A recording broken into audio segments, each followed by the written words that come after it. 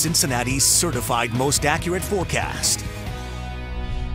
Plenty of steamy sunshine out there for a hot August afternoon and evening right now. Most of us will simply enjoy a warm and dry Friday night, while a few of us, well, we're dodging downpours, especially to the north of the city right now. Here's a look at your evening forecast. So this is away from any stray showers.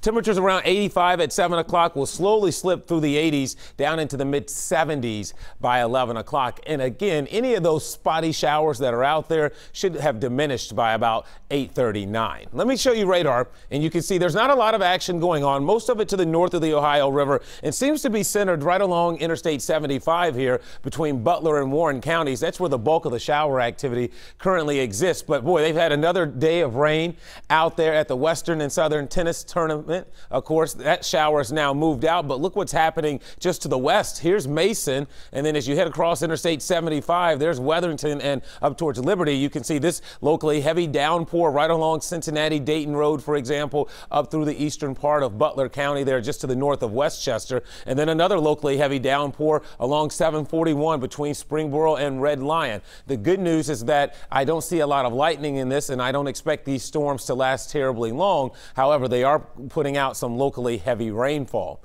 And then finally, we'll jump to the south and west of Hamilton here, right along the Hamilton Butler County line, county line to the south of Shandon. They got a brief shower on 126. So most of you, though, again, are enjoying a dry Friday night. It's 85 officially at the airport. You factor in the humidity. That's why you're sweating outside because it feels like it's close to 90 right now. Here's a look at your weather headlines. So we've got some early showers going. Again, those will fade here in the next couple of hours. Better chance for rain for everyone is tomorrow as a cool front arrives. And yes, behind that cool front will come some relief from both not only the heat and the humidity, but also the storms too.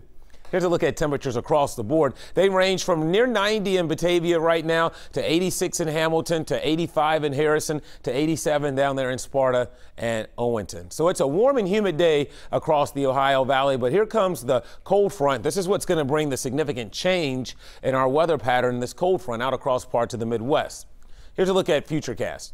No problems overnight tonight. Again, those showers will fade by 8:39 o'clock. Your Saturday will start dry. We'll get into some steamy sunshine late morning, early afternoon, and then we'll see scattered showers and storms fire after about 1 or 2. I expect the greatest coverage of shower and thunderstorm activity to be really during the latter part of the afternoon into the evening hours. And that's also when we could run a risk, here's 8 o'clock, for maybe a stronger storm or two. So showers and storms around tomorrow night if you have Saturday night plans. Anticipate some rain. But by Sunday morning, this rain is out of here. Cooler and less humid air is moving in. And watch that cooler air as we track it. It's represented by these blues and greens. Watch how the jet stream dips across the Ohio Valley and Great Great Lakes Sunday, Monday, and Tuesday of next week. And that means we will deal with some very comfortable Canadian air and probably our, more, our most substantial break from humidity we've seen in the past couple of weeks. So 70 for an overnight low with the threat for an early shower here over the next hour or two. And then it's tomorrow, steamy sunshine.